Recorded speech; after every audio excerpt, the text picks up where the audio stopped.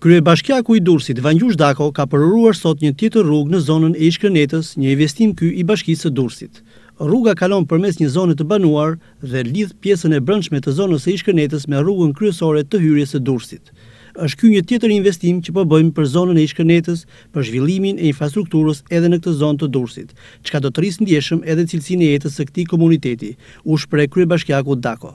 Ne sot ndërtuam këtë rrugë për të hequr baltën, për të përmirësuar jetën e këtyre qytetarëve dhe do të vazhdojmë në të njëjtin rrugë edhe për gjithë zonën e ish-Kënetës sot Durrësi i Ri.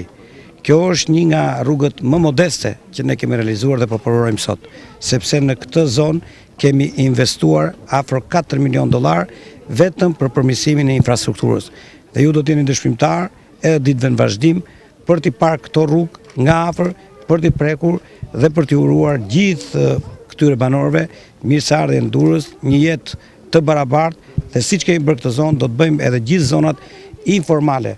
Rruga e ndërtuar ka një gjatësi prej rreth treqind metrash dhe gjerësi afro shtatë metra, duke përfshirë këtu edhe trotuarët në dy anët e saj.